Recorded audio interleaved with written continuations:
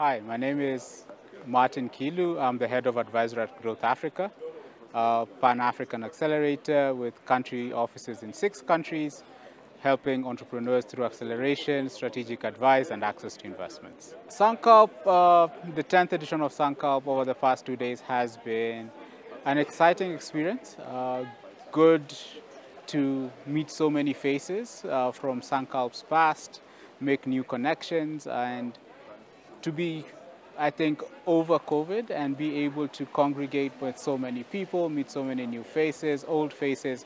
So it has been an amazing time overall.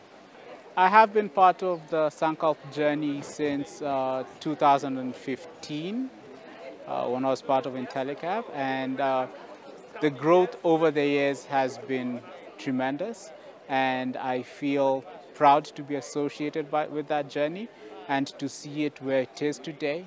Uh, over a thousand participants, uh, great conversations going on, uh, lots of learning opportunities, lots of networking, um, and especially seeing some of the entrepreneurs that Sankalp has supported through the years uh, come back, uh, be part of the panels, come announce that they've done deals.